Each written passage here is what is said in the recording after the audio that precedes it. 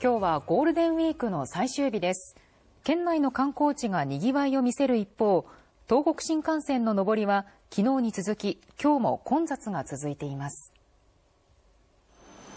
JR 東日本によりますと東北新幹線の上りの混雑のピークは昨日でしたが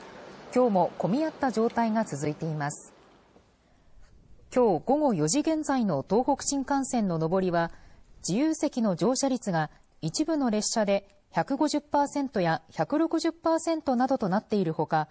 指定席も軒並み100%となっています。